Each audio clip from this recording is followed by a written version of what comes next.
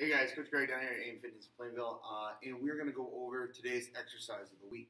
Uh, the exercise of the week is coming to you from our small group training program.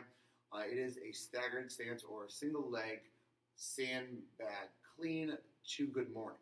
Okay, um, so we're going to get a sandbag at a moderate load. Okay, uh, lighter is probably a little bit better, especially when first doing the exercise, uh, because of the position on the body it's going to be a lot to stabilize.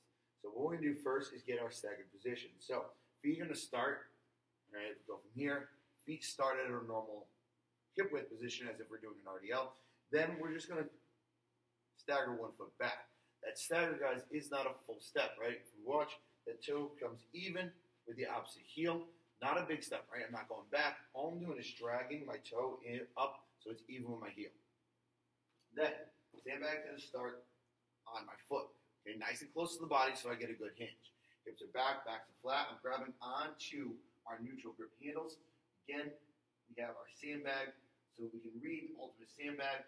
All right, that way this handle doesn't end up hitting me in the face. Hinge back, back's flat.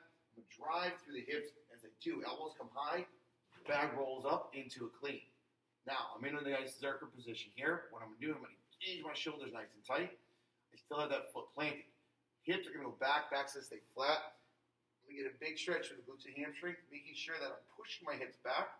All right, stabilizing with the shoulder blades. Drive the heel into the floor. All right, stand tall. Roll down, reset.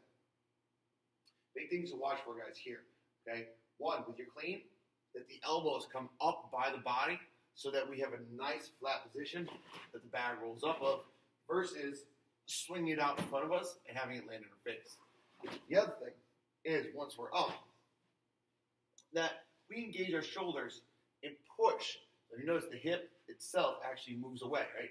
My hips go backwards as opposed to staying in this position and letting my chest come forward. My chest comes forward, I'm going to be using all my lower back. But I'm pushing my hips backwards, away from that position, okay? The back stays flat, and the load goes right across my glutes and hamstrings.